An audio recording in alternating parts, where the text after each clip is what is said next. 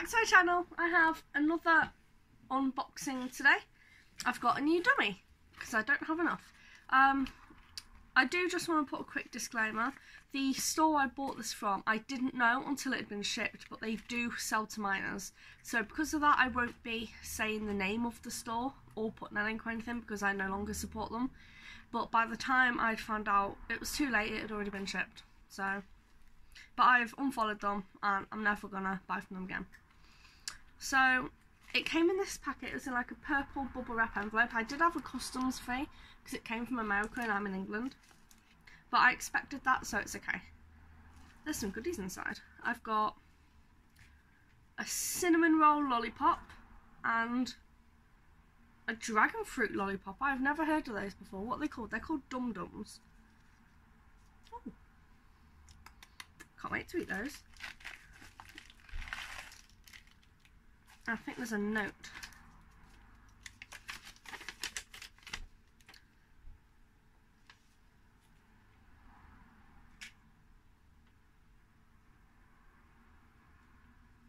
Okay, it's just like instructions and stuff about cleaning. So the dummy comes in this, it's wrapped up in tissue paper with uh, thread tying up like a ribbon. I'm very excited.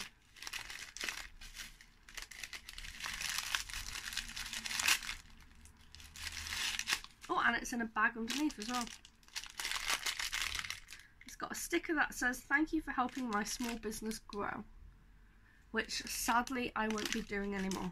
I'm really upset that they sell to minors. That really upset me. I'd, for a while, I didn't even want the dummy. But it cost me a lot of money with the cost of it and worldwide shipping and customs. This dummy cost, it's so nice, cost me a hell of a lot. So here it is. It's a Barbie dummy with Princess Anneliese and Serafina in the middle and it says princess on the handle and it's got white, silver and pink pearls and gems on it. It's on, the handle's pink and it's on a white dummy. Oh my god, I love it. Isn't that just the cutest? I've wanted a dummy with this particular picture on it for ages, but other stores haven't been able to do it. And then it just popped up on my newsfeed one day and I had to have it. I'm so happy with it. I'm just going to go get an antiseptic wipe, then I will show you what it looks like in my mouth. Before I put it in my mouth, I have just noticed a flaw.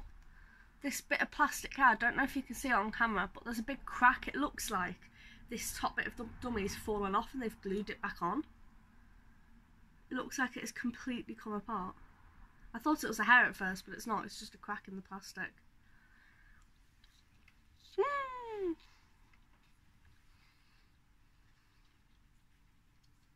It's so cute. Such a shame we can't support them anymore.